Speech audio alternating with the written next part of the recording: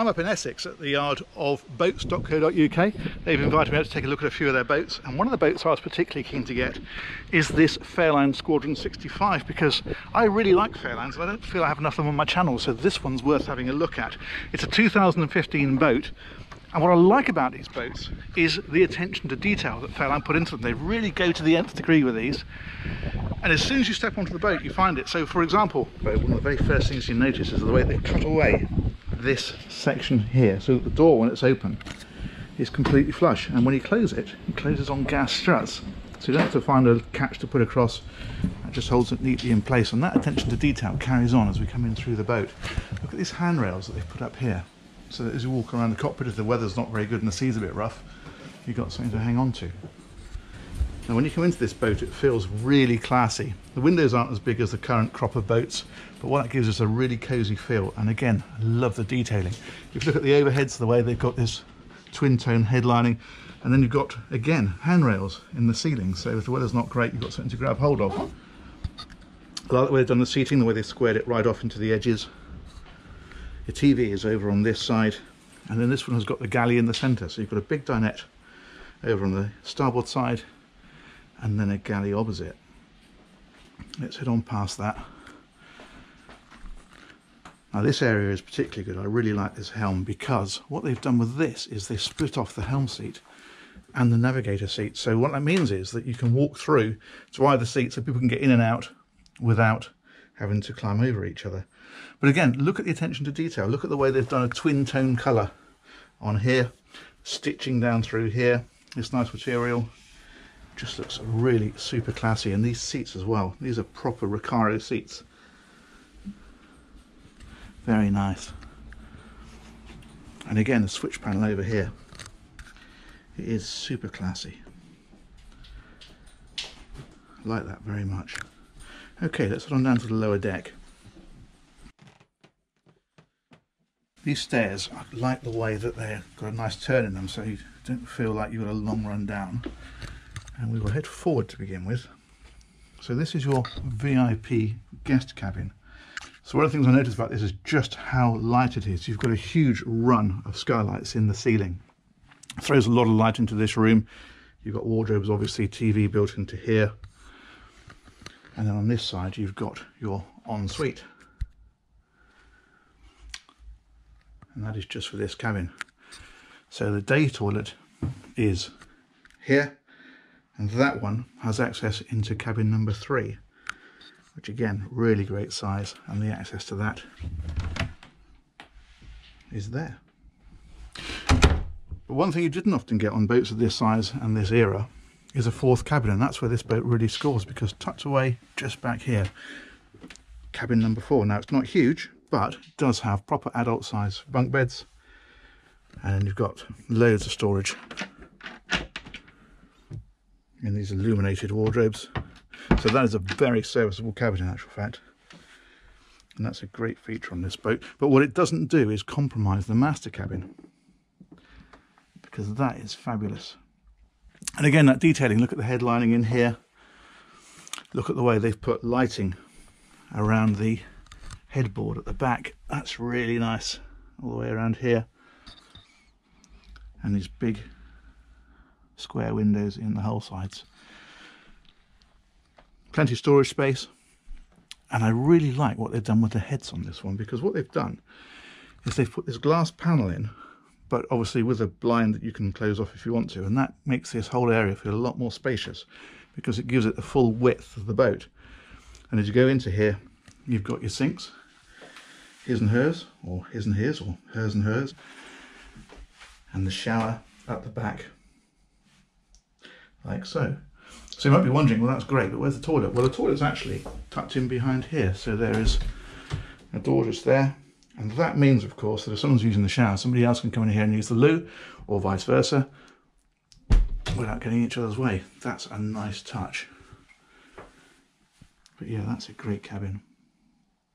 Okay, let's head around on deck, and I'll give you the tour of the outside of the boat. Here we go. So back through this area, do like this flooring in here. This flooring is fantastic. And it just feels so nice and spacious as you walk back through here. Really good.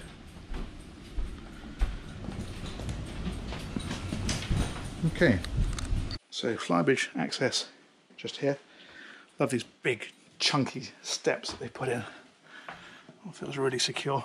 Now the flybridge on this boat for a 65 footer is huge and one thing that you don't normally get is these big sunbathing areas at the back. So you can have four people lying out here and you've still got masses of seating up ahead. Brilliant feature. This is for a bimini top so if you're out in the hot weather you can have this folded forward and a canvas top to give you some shade up here and then the bar is over here with the barbecue and the sink. And that is I believe I'm right in saying an ice maker. And then a fridge as well.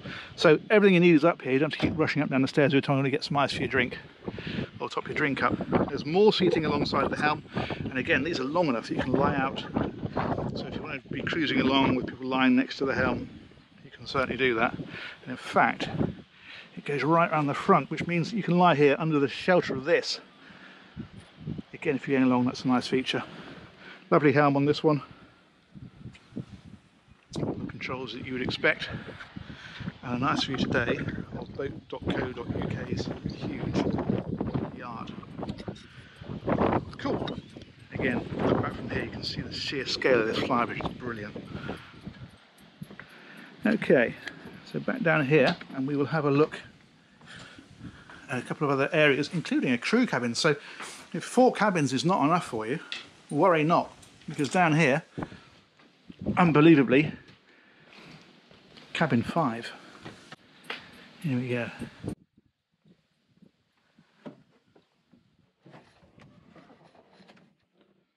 Now this has got side-by-side -side beds, it's got a bit of kitted here at the moment, fenders and chairs for outside, but these are two decent sized beds. So great for crew, but actually decent enough for a couple of adults or teenagers so they want to get themselves away because you've got a big window at the back of the boat so you don't feel like you are in a cave.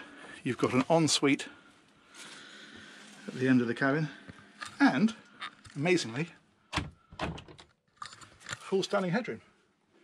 How good is that? And it's all nicely trimmed Alcantara around here.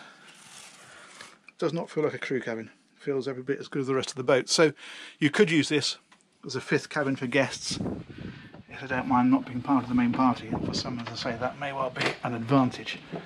Okay, so we'll finish off with a look under the floor. This one has a small lazarette area, so canopies, cushions, deck gear, anything you want to tuck away that you don't want to put inside the boat can go there and then the engine room itself is underneath this one. I haven't been able to find the lights on this one so it may not be too bright in here but hopefully with the magic of GoPro we'll see enough.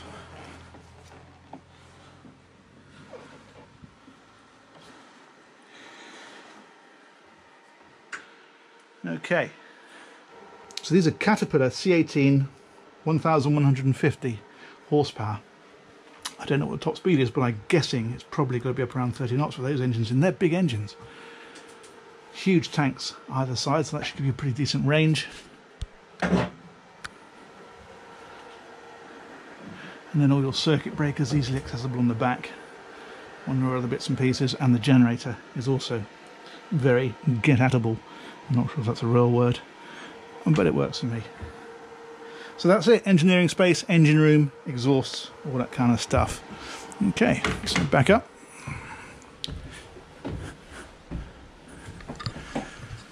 So that's it, that's Fairline Squadron 65. Now Fairline are very much a company on the front foot at the moment. And when you see boats like this, you can understand why.